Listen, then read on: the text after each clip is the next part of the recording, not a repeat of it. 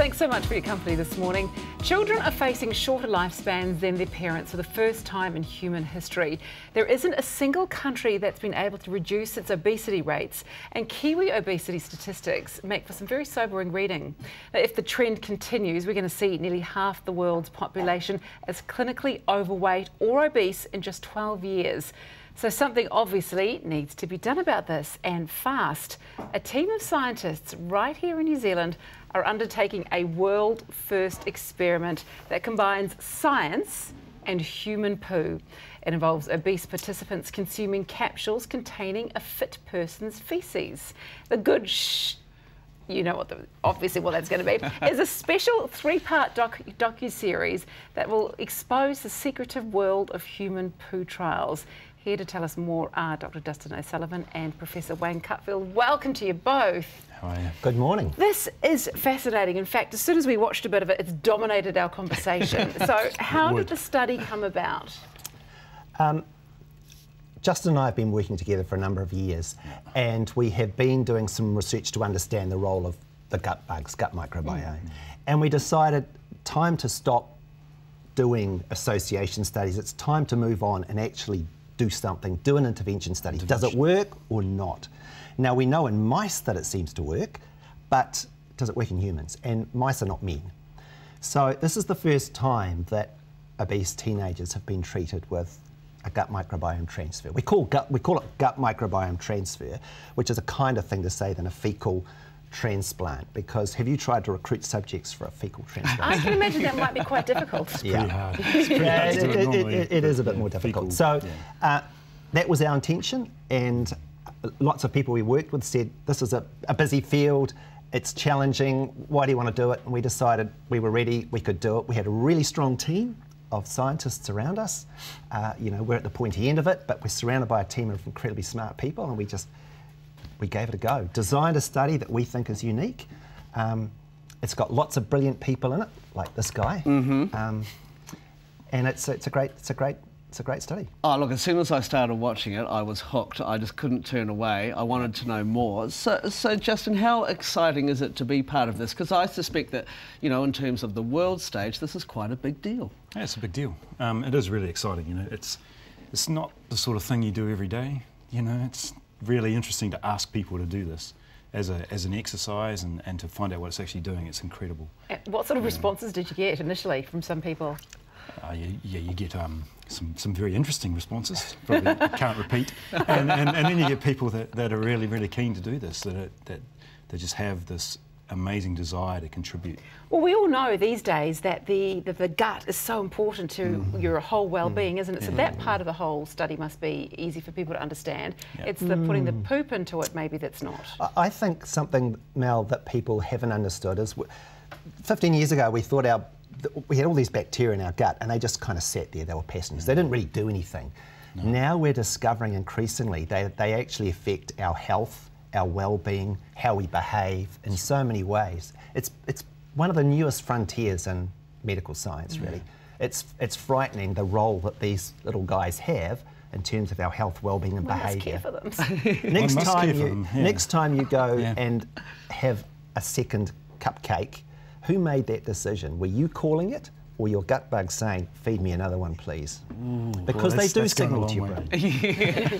And this is the great thing with the doco, because you're taking us all on the journey, which I think is fascinating. We're yeah. all going to learn a lot. For those that don't know much about it, let's take a quick look at this doco series.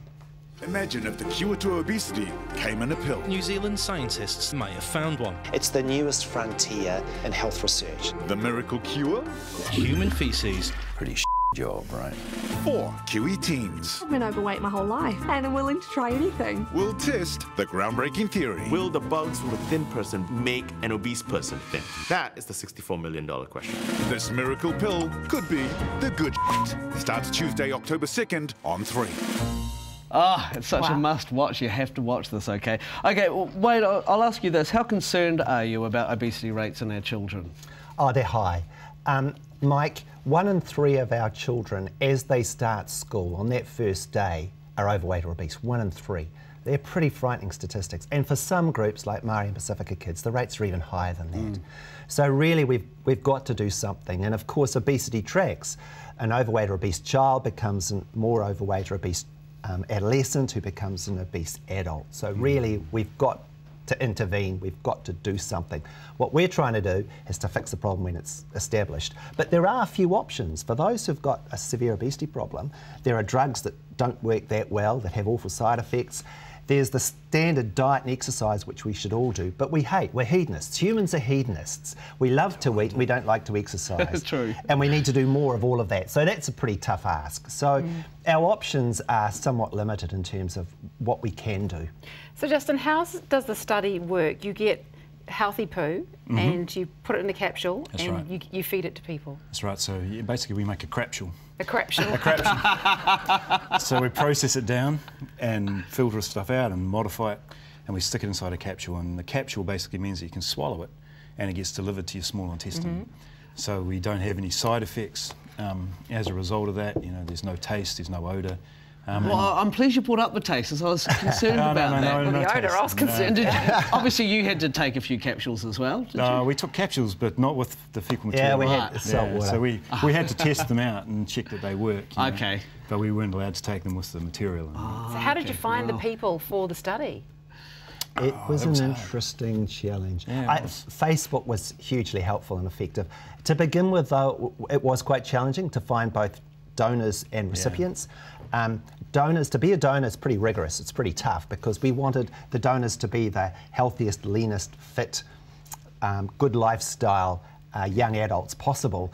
And so, of those who applied to be donors, only about 10% made the grade. So we had pretty, because they are the treatment arm, so we want them to be the best possible Yep, vectors right. of treatment possible.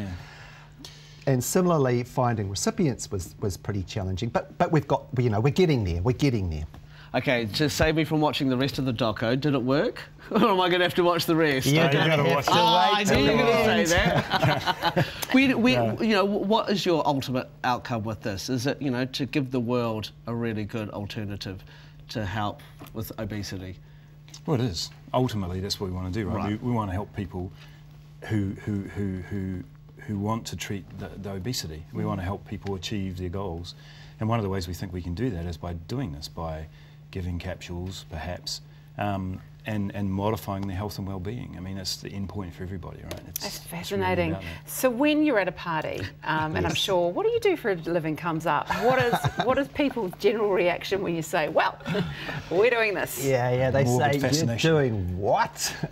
Um, People ask this funny Fascinated. things. Some don't want to talk about poop, and others like us are just absolutely fascinated. Yeah, I'm it, it, fascinated. dominates Everybody- every everybody does. every cocktail party, social function I've been to. It just seems to dominate the entire conversation, and it finishes with, "Where can I get some?" It's usually the final two or three. I go, Where can, when can I get some? And when will it be ready? But at the moment, it's a single treatment too. You, you just take it's over two days, but effectively it's a once treatment, and the issue is. Will it work and how long will it work for? Mm. Because we're not talking about taking something every day. Ah, wow, jeez. Can't wait. And as well as the doco, you've got some extra content on 3 now as well. So for those that get right into it, they can go and learn more. Yeah, so there are seven standalone pieces that are on three now, yeah, which, which come out alongside the documentary, explain the science and things around it. All the you know, and give stuff. you a real in-depth understanding or, oh. of, of what we're doing. Ah. Well, it is so Yeah, cool. go Thank- New Zealand. Yeah, thank Yeah. you both. Good luck. Good Thank luck you. with this. Thanks. Uh, the Good Sh will premiere Tuesday, 8.30 on 3. Uh, it's a special three-part doco series with extra content, as we mentioned, on 3 now. Thank you so much, both Yeah, you. thank you, gentlemen. Thank well you. done.